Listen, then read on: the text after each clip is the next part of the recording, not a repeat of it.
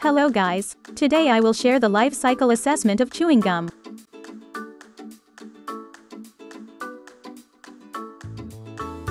In this video we will learn about 1. Introduction 2. Life cycle of chewing gum 3. Impact of chewing gum 4. Conclusion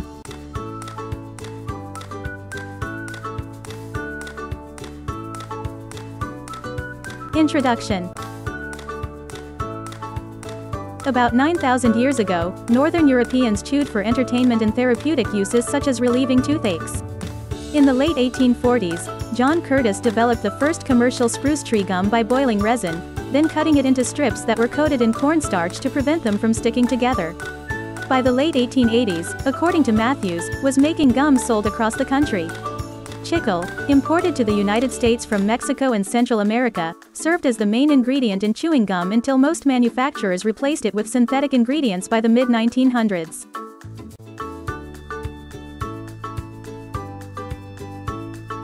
After moving to Chicago in 1891, he began offering store owners incentives to stock his products, such as free cans of baking powder with every order.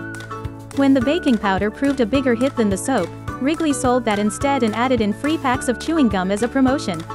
In 1893, he launched two new gum brands, Juicy Fruit and Wrigley's Spearmint. Because the chewing gum field had grown crowded with competitors, Wrigley decided he'd make his product stand out by spending heavily on advertising and direct marketing. In 1915, the Wrigley Company kicked off a campaign in which it sent free samples of its gum to millions of Americans listed in phone books. Another promotion entailed sending sticks of gum to U.S. children on their second birthday.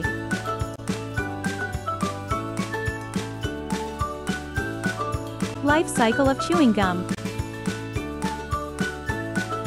Here is the topic for the life cycle assessment of chewing gum. 1. Raw material extraction. 2. Manufacturing. 3. Distribution. 4. Usage. 5. End of life.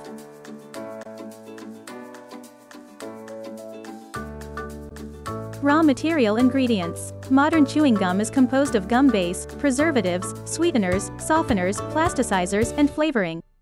Synthetic polymer polyvinyl acetate is regularly used in chewing gum bases, it makes up almost 60% of the gum base. Gum base. Traditional extraction of chicle from Chico zapote tree, Achras zapota, in Quintana Roo, Mexico. This way of extracting by making zigzag incisions is known since ancient Mayan civilization who call it sikte. Sweeteners. The production process involves melting the gum base ingredients together, followed by mixing in the other ingredients.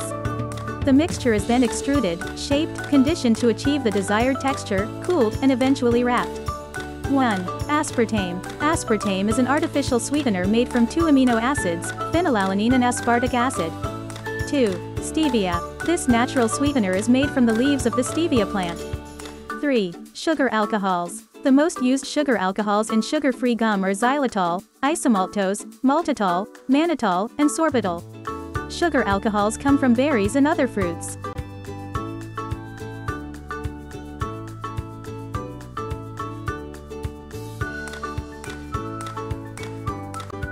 Softeners. Softeners, such as glycerin or vegetable oil, are added to chewing gum to retain moisture and increase the flexibility of the gum. It is these ingredients used which help to soften the gum when placed into the warmth of your mouth and create the characteristic chewing gum texture. Softeners are added to retain moisture. The most popular softeners are glycerin or vegetable oil based. Those ingredients are used to help prevent the gum from becoming hard or too stark. Sweeteners are added to gum to give it that sweet flavor. Those ingredients are usually sugar, corn syrup, and even beet juice.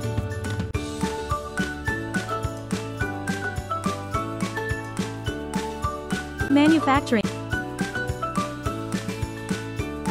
Manufacturing Many manufacturers of chewing gum secretly guard specific ingredients in their chewing gum, but they all share the same basic process to reach their finished product. The manufacturing process is considered standard throughout the industry.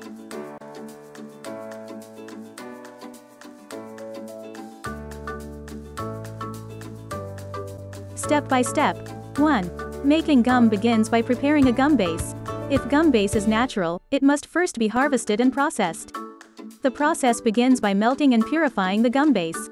The gum base is placed in a warm room to dry for a day or two, hot air continually passes over the mixture. The gum base is then sterilized and melted in a steam cooker. 2. The substance is then pumped to a high-powered centrifuge to rid the gum base of undesirable dirt and bark. The gum base is cooked and mixed with softeners and sweeteners, and all other additives. 3. The next step is kneading. Extruders, machines, are used to blend, smooth, and form the gum. A cutting machine cut the sheets into sticks or small pellets which are later candy coated.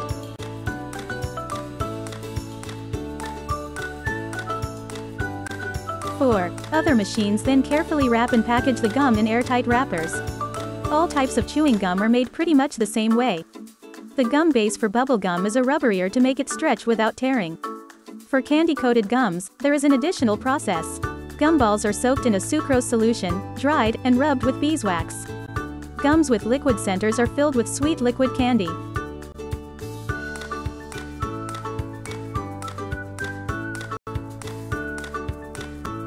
Distribution Distribution management is the process used to oversee the movement of goods from supplier to manufacturer to wholesaler or retailer and finally to the end consumer.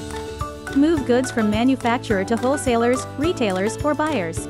However, the transportation used can be potential negative impacts on the environment. For example, degradation of air quality, greenhouse gas emissions, and increased threat of global climate change.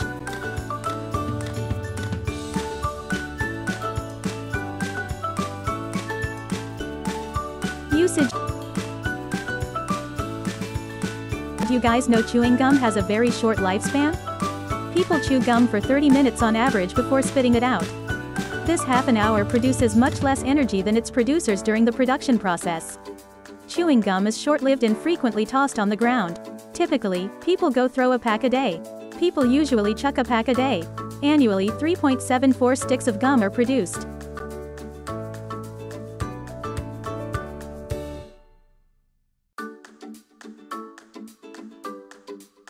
End of life. To help reduce the growing strain on the world's environment we would like to encourage everyone who chews gum to recycle it. By simply dropping your chewing gum into a gumdrop bin your small effort will go towards making a huge change. Putting chewing gum into a standard bin may keep our streets clean, however it will not be recycled and will end up in landfill. When used chewing gum is thrown on the floor the repercussions are expansive. The best way to ensure your chewing gum is recycled efficiently and responsibly is to drop it into a gumdrop. Gumdrop along with its contents of used chewing gum is recycled and processed into new gumdrops which are then redistributed, so that the cycle can start again.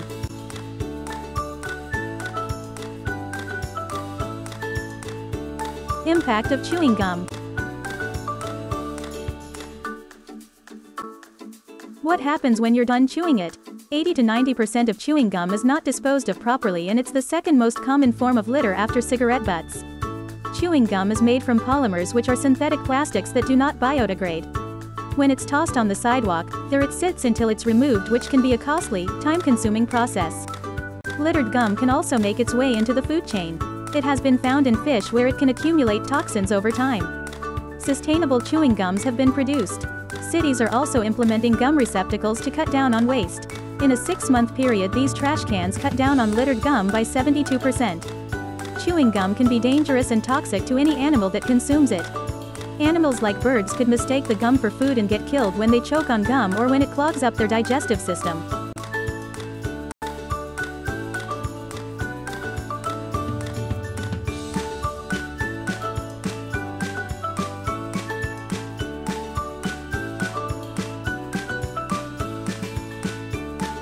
Conclusion Some countries, like Singapore, have already started to crack down on bubblegum, banning it unless people have a medical reason to be chewing it. Even without a government ban, though, it's possible to be an environmentally conscious gum chewer. The volume of waste created by littering is not entirely insignificant. Worldwide, humans chew about 560,000 tons of gum each year, according to one study. A few entrepreneurial greenies have developed technology to recycle chewed gum, which they can turn into rubber containers and children's toys.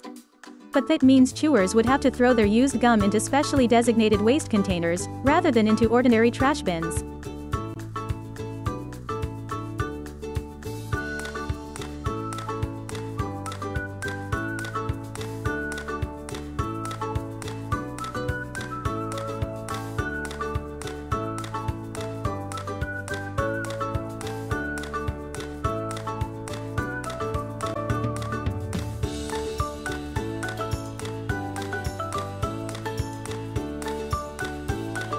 Thank you for watching the video. Don't forget to like, comment, subscribe, and watch our next video.